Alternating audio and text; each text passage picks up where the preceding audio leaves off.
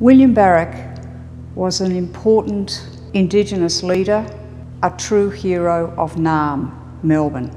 He is also the first Indigenous artist of renown. He was born in Brushy Creek in about 1824 and is said to have witnessed Wurundjeri elders signing the spurious Treaty of Melbourne with Batman in 1835. He settled at Coranderrk Aboriginal Station near Healesville in 1863.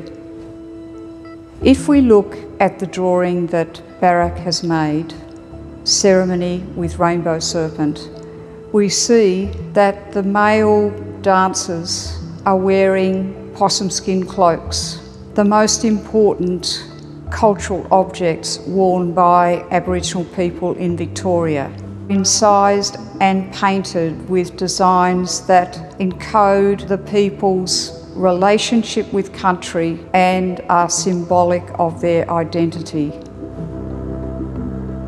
He uses a mixture of red ochre and Reckitt's blue. This represents a Ngadji, a public ceremony usually performed at night. There are two campfires. There also are women who are depicted witnessing the ceremony. The men and the women in this beautiful drawing are wearing lyrebird feather headdresses.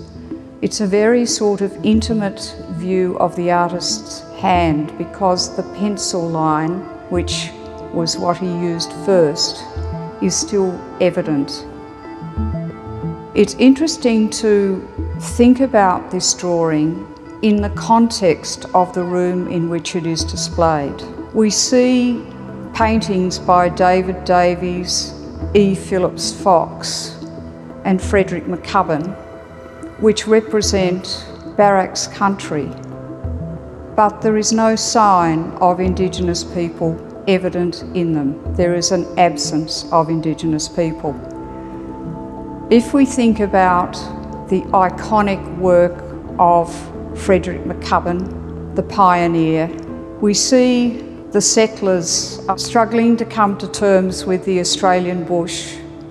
And we also see in the distance signs of the emerging city of Melbourne, which was established on the country of Baraks, Wurundjeri, and other groups of the Kulin Nation according to the spurious Treaty of Melbourne in 1835, which signalled dispossession and destruction of Indigenous peoples' culture and language.